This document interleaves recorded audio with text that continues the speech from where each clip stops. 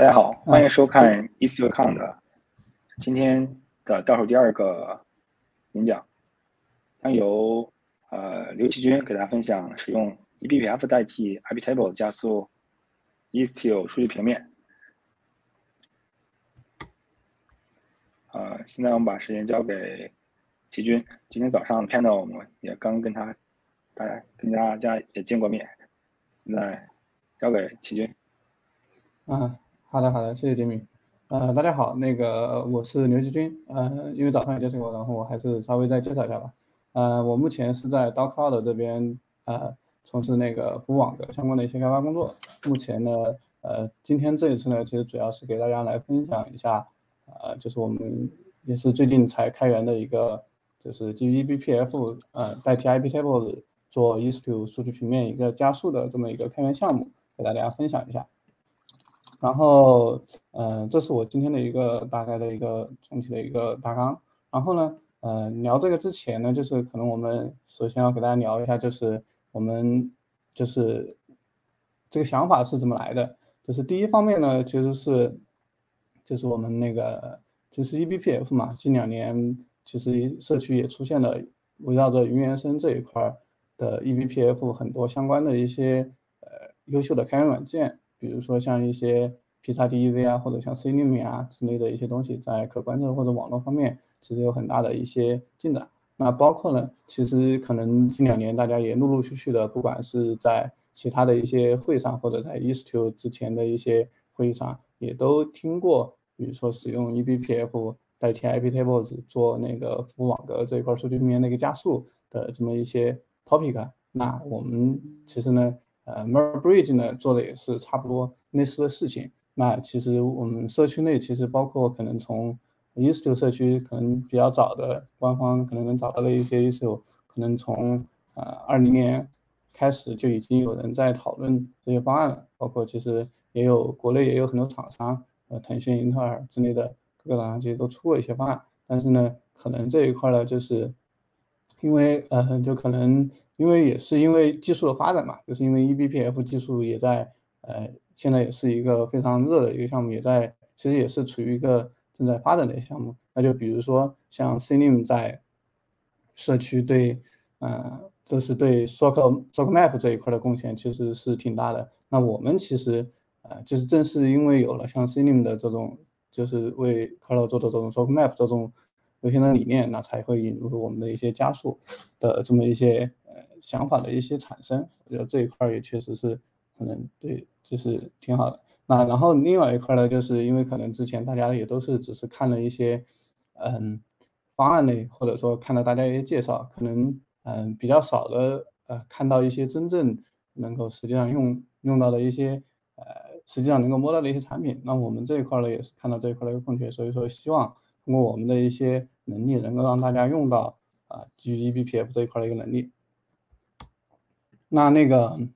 我们的其实设计这个的一个初衷呢，其实就是啊比较简单嘛，因为其实像 eBPF 加速这一块呢，其实像比如说像呃这一块 Sock Map Sock Map 这一块的，比如说 CLim 那一块社区已经做的非常好了。那这一块其实不是我们主打的一个核心，因为我们也并不想说用别人发明的东西去嗯就是再去做。相似的产品，那肯定不是。那我们做的是一个更加细分一个领域，就是针对于服务网格这一块，使用 eBPF 代替 iptables，并且实现一个加速的这么一个能力，所以这是比较聚焦的，我们也是比较清晰的一个方向。那还有一块呢，就是我们是希望是一个呃不需要任何修改的，因为其实可能大家以前也听过或多或少的一些，可能有的是要改办的呀，或者改一些其他的一些东西。那这一块呢，肯定也不是我们希望的，我们是希望一个呃。能够被大家很轻易的上手的这么一个呃解决方案。当然呢，我后面其实在后面也会有个 live demo，就是大家到时候也可以看一下。啊，还有第一块呢，就是就是大概我也说了嘛，就是就是就是希望它是一个易用，希望它呃能够这一块。然后其实这一块呢，我们在中间做了很多努力，就是呃其实里面有很多呃一些事情，因为时间关系啊，其实像 Merbridge 整体的处理的事情还挺多的，我就抽几个比较。呃，可能比较关键的一些点，就是来稍微给大家剖析一下我们 Merbridge 是如何实现这一块逻辑的。那第一块呢，就是呃，如何实现那个用 eBPF 去拦截流量？因为我们都知道，在 Istio 啊这种呃 Sidecar 的模式下，我们是需要把所有的流量都拦截到 Sidecar 里面才能够正常去做的。那第一个问题呢，就是呃，我们需要拦截什么样的一些流量？那可能我们比如说，因为其实大家如果就是对这个比较深入，那可能我们知道，比如说 us 九它会有一个默认的，比如 UID 像幺三幺三三七这种东西，那这些流量我们是不能被拦截的，因为因为它是比如说是属于因为发出去的流量，那我们就不能去管它。那所以说我们要比如说通过去判断，那可能我们要在它去就是比如说。发送做流量发起的时候，然后我们要判断它这个发起者是谁，比如说它是不是满足这种 UID 的这种啊概念。如果说，比如说它不是一个，它是 Envoy 发起的，或者说它是主机上的一个应用，因为 eBPF 有一个很重要的特性，它跟 Namespace 是没关系的，它是内核层面的东西，它是不能做到 Namespace 的这种网络命名空间隔离的。所以说，它看起来你的业务用可能和外面的流量发起是差不多。所以说，我们在这边要。对它进行一些做判断，然后判断完了之后呢，我们要实现拦截的话，其实相当于是它，比如说做出口拦截呢，可能是要把流量全部转到啊 port 本地的幺二七点零点零幺，然后幺五零零幺的这么一个它本身呢是依赖啊 iptables 的 redirection，就 redirect 的能力去做的一个流量拦截。然后呢，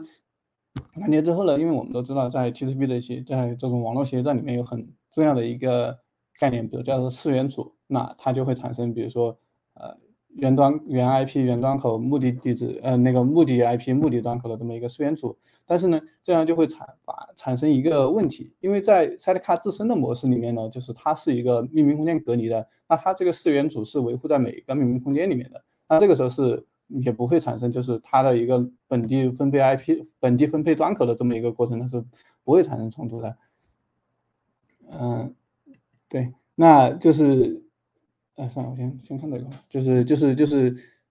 那个我对我讲错了。然后然后但是呢，就是在 eBPF 的情况下，因为它是 kernel 级别的，就是它是有这种概念的，那可能会产生一些四元组冲突。我等会儿可能会继续讲一下。那当然还有一块呢，就是如果我们改了目的地址之后，四元组出问题了，那比如说原来我们通过 Envoy 里面，因为 Envoy 里面后面承载了很多服务，它需要通过你访问的原地址，比如说我原来一个 port 它暴露了。五个端口，但是现在你全部把它转向一个端口，那我不知道它要访问谁，那所以说还会涉及到一个很重要一个点，就是我要知道它的原目的地址。那这一块呢，其实在内核层面的是 NetFilter 模块专属的。那这一块其实我们也是相当于用 eBPF 去那个相当于模拟，就是相当于改掉它原来的那个 get get socket host 能够返回它原有的那个呃就是目的地址，这样能够达到。这一块的一个完全流量拦截和一个识别目的地址的这么一个东西，那还有一个呢，就是哎，稍等，不好意思，就是然后还有一个呢，就是下一步呢，就是使用那个啊，就是加速嘛，其实就是我们刚才说的，就是使用加速这一块呢，其实我刚才也有提到，那其实这一块呢是依赖本依赖内核的 socket map，就这一块呢，包括就是这个只是我们的一个一个目的嘛，因为我们。就是其实用 eBPF 代替 IPF，无非也就是想要加速嘛。那这一块能力呢，其实包括像这也是社区像 c i n m 社区用的比较成熟的一些体系，只是我们在这边把它给复用过来，就是开销可能更小，能够达到就是我们在两个就是 APP，比如说应用的这个 socket 和 Envoy 的 socket，能够直接在两个 socket 之间进行拷贝数据，它不用再经过下面的。层 kernel，比如说像 NetFilter 模块、TC 模块，它不用再经过这些模块，呃，是很大、极大是比较大的程度减少了内核层面对就是实时数据包的这么一个处理，所以说这一块的话会有一个比较好的一个性能表现。那这个时候呢，就带来了我刚才说的那个问题，就是因为你因为这个 socket map 它依赖一个依赖一个 map，那涉及到 map 就涉及到一个 key，我们正常来说一般都会采用比如说像四元组，就我刚才说的四元组来做。它的 key，但是这个时候呢就会有问题，因为资源组在命名空间里面它是隔离的，就是在不可，就是在 iptables 里面它可以做到命名空间级别的一个隔离，就是说它这样实际上它还有一个隐形的 NS 的一个 ID 这么一个东西来做一个隔离。那这一块呢，但是我们这边呢，因为 eBPF 是一个纯内核级别的一个东西，就它有些它没有这个给你，那它就可能，比如说，如果我们把目的地址改成了幺二七点零点零点幺幺五零零幺之后呢，那这个时候它相应的，比如说，如果你不做操作的情况下，默认的原 IP 它可能也变成了幺二七点零点零幺，然后五六七八九改成了这么一个 IP，那这个时候呢，就是 Pod 一里面呢，它可能有个五六七八九这么一个本地端口 pass 掉，但是 Pod 二呢，因为它是 namespace 隔离的，它在产生的本地 port 的时候，它是不会去管其他的一个本地端口的，所以它会继续能产生幺五六七八九的这么一个源端口，这样呢就可能是产产生那个呃就是四元组冲突的，这个时候就会导致本来我是这个 port 的流量，但是你给我发到了另外一个 port 里面去，所以这是我们不能容忍的。那我们是需要能够解决这个嗯情况的。当然，其实现在社区也有很多种。就是也有很多人提出一些解决方案，就比如说增加一些 cookie 啊，嗯，当然这个呢可能对内核版本要求比较高啊，可能对大家的用使用成本也比较低啊，使用成本也比较高。那我们这边呢是做了一个什么事呢？就是其实我们的一个核心的一个关键呢，其实主要就是来打破这个四元组，就是其实如果说我们能修改其中任意一个，把它任意东西变得不一样，就是不可能产生重复，那其实我们就可以解决问题。但是呢，我们分析一下，因为原端口这个东西呢，是内核本地端口分配的一个规则，这个我们不好去控制。当然你硬要控制也行，但是这个东西可能代价会比较高。那目的端口这个我们是不能控制的，因为它呃就是除非你去改 ES6 的一些监听啊或者什么开它一个逻辑，当然这个也不是我们想要的。那这个幺二七点零点零幺呢，就这个或者原端口的这一块，其实我们我们在这边做的那早期的版本，我们就是用那个在这边解了嘛，就是我们这边。可能有几个 solution，一个 solution 呢，就是我们呃，就是改了那个目标的 IP，比如说我们这是我们早期的版本，就是我们把幺二七点零点幺，我们改成一个递增的，相当于是一个递增的这么一个 IP 地址，就因为本地在 IPv4 下面，比如幺二七斜杠八的这个 CIDR 下面全部是 loop loopback，所以说我们改成幺二七点二八，它也是没有问题的，它还是可以路由到本地，它也不会走其他的一个。呃，问题，但是呢，每每每产生一个请求，每新建一个请求，那我们都把这个目的地址 IP 加一，那这样呢，其实你就避免了，就是就是就是产生，就是从 IP 这一个层面就已经不会产生重复的可能，那其实也可以打破这个问题。那还有第二个呢，其实就是我们修改原 IP，但是修改原 IP 呢，这个东西你改成什么呢？其实你也可以把它改成幺二七零二八，这个也可以。但是呢，其实我们还可以改成其他 IP，比如说改成破的 IP，其实这个也没有问题。就是改成破的 IP 的话，那这个可能就相当于你，因为每个破的的 IP 它肯定不重复嘛，那它也可以。然后另外一块呢，就是比如说一些用 socket cookie，就是因为这个也是相当于内核提供的 eBPF 提供的一个额外的，就是我可以给每一个呃 socket 打上一个特定的一个标，相当于一个唯一标字符，相当于一个唯一标字符。那这样呢，其实就是。你根据这个唯一标志符，其实也相当于增加了一个变量。那你可以变成一个五元组。当然这个呢，因为比如说它在那个 redirect 的那个 prog 里面，它是，嗯，它是要在很高的版本才能支持，要在五点一五的内核版本才能支持。所以这个东西呢，就是可能我们，呃，就虽然它它相对简单一点，但它要求有点高，这也是一个呃标点嘛。然后还有一个就是就是可能我们我们目前是还是没有采用这个方案。然后还有一个东西呢，就是，嗯，就刚才我其实也说了嘛，就是，嗯，就是这个。然后我们早期的版本呢，其实是采用了啊第一种方案，因为它比较简单、比较直接，也不需要什么维护。那我们接下来的版本呢，我们会采用第二种方案，因为以前为什么不直接用这方案二呢？是因为我们在 eBPF 里面想要去获取一个 pod 的 pod IP，这个事情是非常麻烦的。因为它不能说你像写一个业务应用一样，我去获取一下 interface，再去获取什么什么东西，这个都这些这些代价呢，它是它是比较高的。就是就是我们这边就是因为它不同的就是 eBPF 这个体系有点复杂，它不同的程序里面能够执行不同的系统调用，而且我们还得考虑一个版本。所以说我们最后呢是做了一些做了一些优化，就是我们通过一些比较呃精巧的一些手段，能够让我们在那个。比如说发起连接的时候能够获取到这个 port IP，这样的话呢，我们就也不用这个方案，因为这个方案呢，就是方案一还有一个问题，就是也是我们在做的时候发现的，就是在 IPv6 的情况下，它是不能很好的工作的。当然，因为 IPv6 也是我们后面支持的一部分，所以说我们决定想了另外一条路。当然，这个可能大家可以期待我们后续的一个版本，应该会在可能呃，最近可能半个月都会就会出来的一个版本，就是可能会支持的更好一点。然后还有一块呢，就是就是我刚才说了嘛，就是我们说了支持那个获取本地 IP 的这一块的一个逻辑，因为这一块儿呃逻辑就是虽然说这里写的比较简单，但其实这个过程实际上是比较漫长的，然后再说也不一定能理解。就是我们这边呢是借助了一个。CNI 插件的一个机制，就是我们会让我们的 Merbridge 工作在一种 CNI 插件的这种方式下面，就是有什么用呢？就是工作在 CNI 插件的方式下面呢，我们可以在 Pod 启动的时候，哎，就是会在那个 Pod 启动的时候，然后我们会给它一个，嗯，就是会往我们的 eBPF 的 Map 里面通过用户态的程序，也就是我们的控制面，往我们的比如说 Mark Pod 那个 Map 里面写上一个一对。呃，键值，然后一个 mark，然后把它的 IP 地址写到它的 value 里面，然后我们的 eBPF 在运行的时候呢，我们可以通过读取当前命名空间的下面的这个 sock，然后获取到它的 mark 之后，然后从这个 map 里面读取它当前的一个 IP 地址。就是虽然说大家看的这个路比较绕啊，就是因为这个这个路确实，因为呃，就是就是因为它确实现在你是没有什么直接的系统调用能够提供，就是我获取当前的。比如说这个 NS 的呃 IP 信息的，就是所以说我们只能通过这种比较绕的方法，而且但是呢这个东西做了之后呢，就是比较有一些好处，就比如它可以同时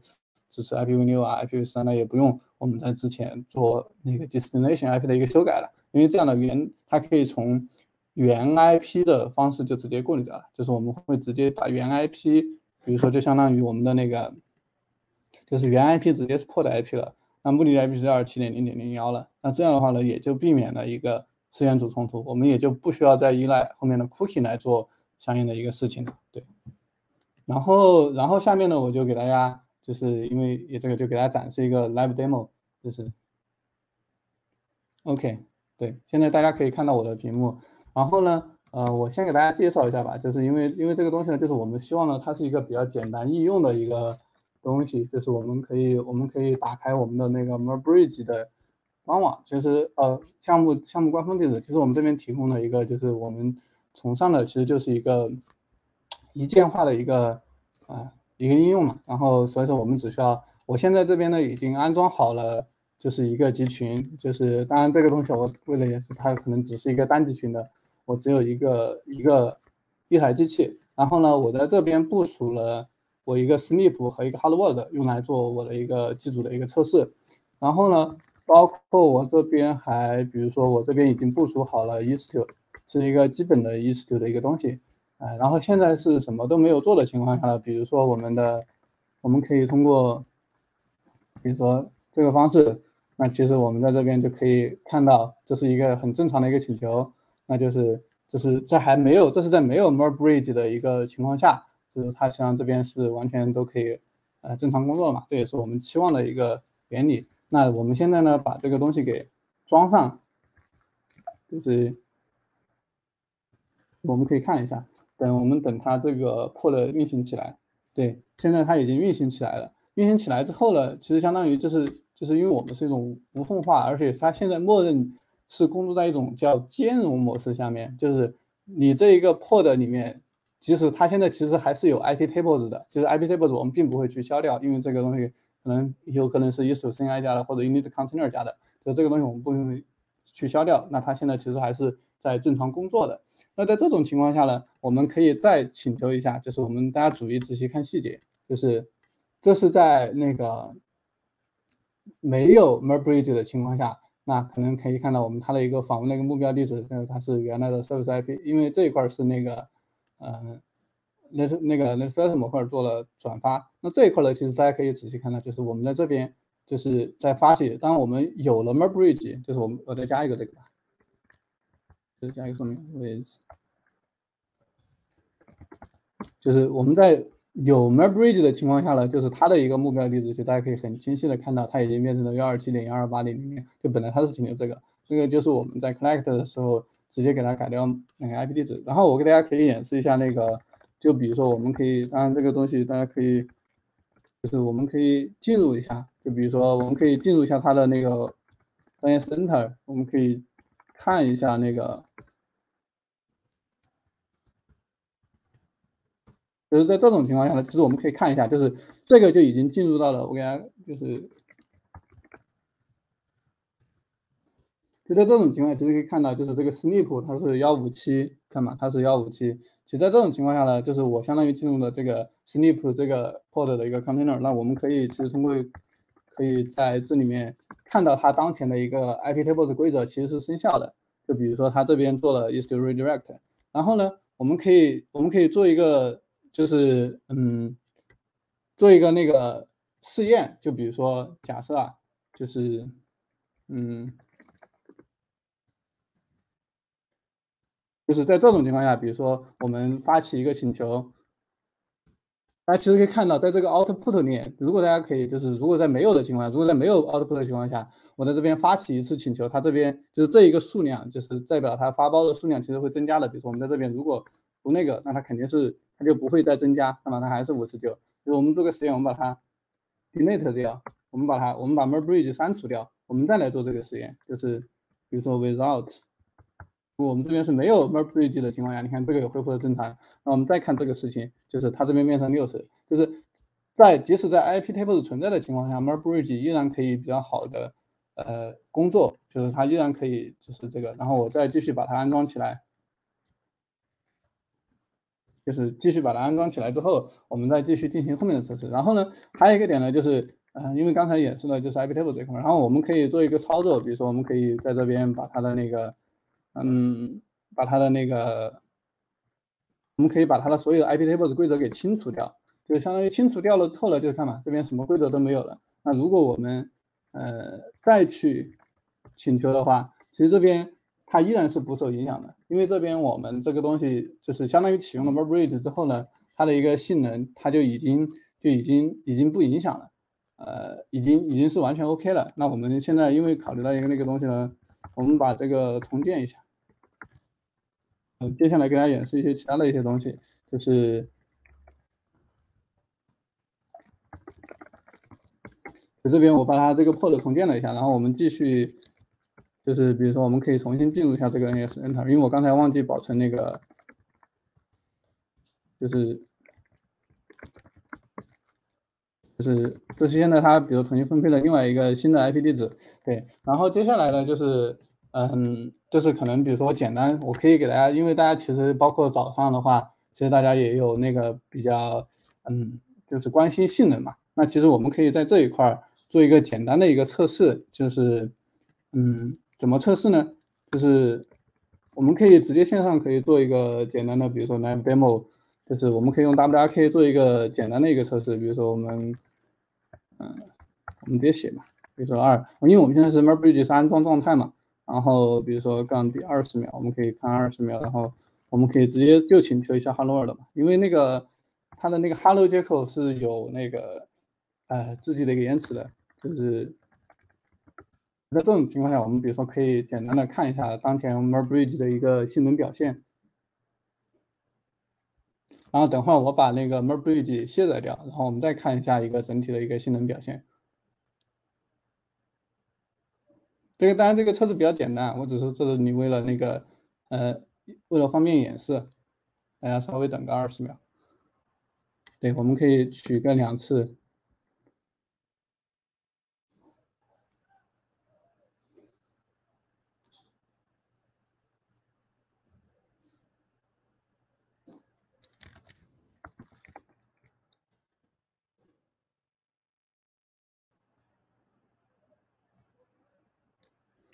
对，然后我们再把 Merge 给卸载掉。现在这种情况呢，卸载掉之后呢，什么都没有了。然后我们再跑一下。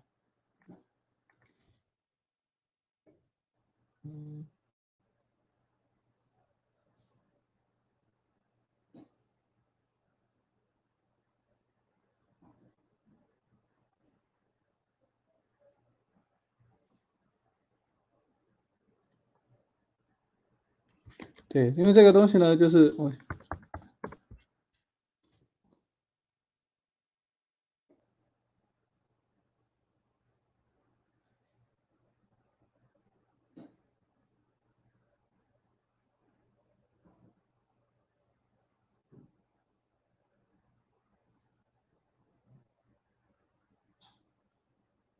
对，就其实这个东西就目前看下来只有零点五毫秒的，就是可能呃呃就是零点一吧，因为这个哎这个东西怎么这么低？我可以我可以再 open 一下，等一下啊，就可能它有一些测试的一些延迟，我再把它 open 一下，我看它启用没有。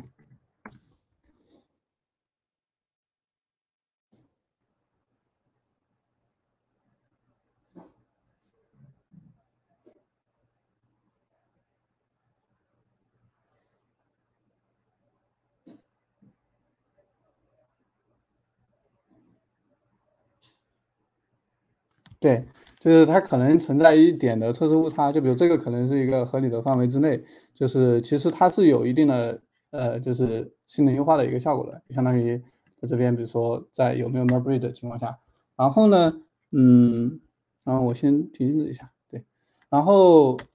对，哎，我我点错了，sorry，然后嗯，哎，算了，没关系，那个就就是这样的，就是哎，Can you go back to slide。OK OK，嗯，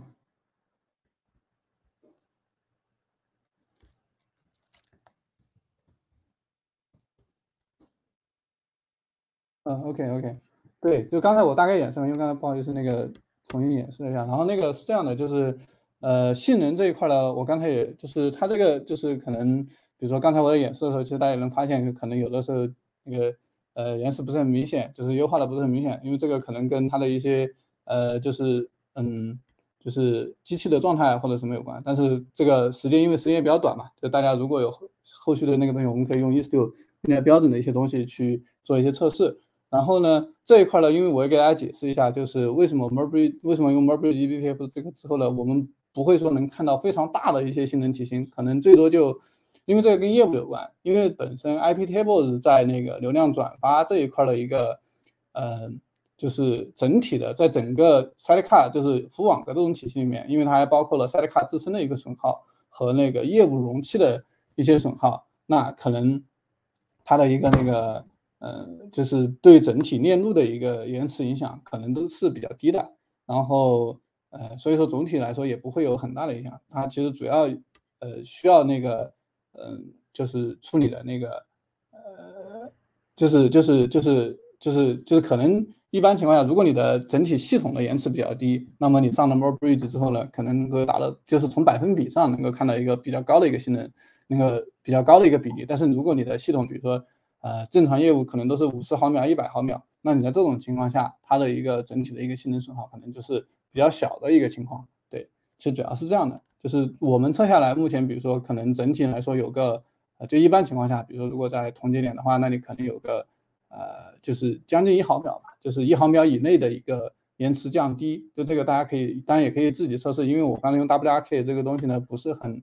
规范，就是也不是很官方。就这一块呢，我们因为现在我们也听从揭秘的揭秘嘛，我们后面会出更详细的一些测试报告，包括用 Istio 官方的，比如说那种那个 per per performance 的那个。呃，测试去给出我们的一些测试结果。那最后呢，就是我这边稍微给大家就是介绍一下，可能我们呃 Merbridge 下一步后面要做的一些事情。那一块呢，其实就是我刚才也提到，因为可能我们现在 Merbridge 在处理入口流量这一块呢，还存在一些呃一些问题。那所以说，我们可能这一块得考虑用 XDP 这种方式去做一些入口流量的更更细化的一些管理。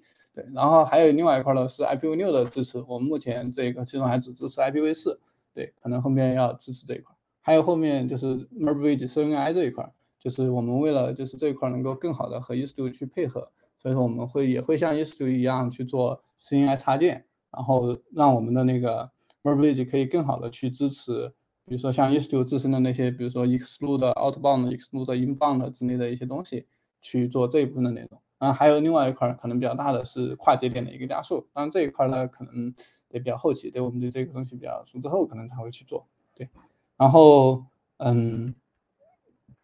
那后面大家如果有兴趣的话，就是可以从我们比如说从呃一四六官方的一些博客啊，或者从我们自身的呃就是 Merbridge 官网的一个博客，也可以获得一些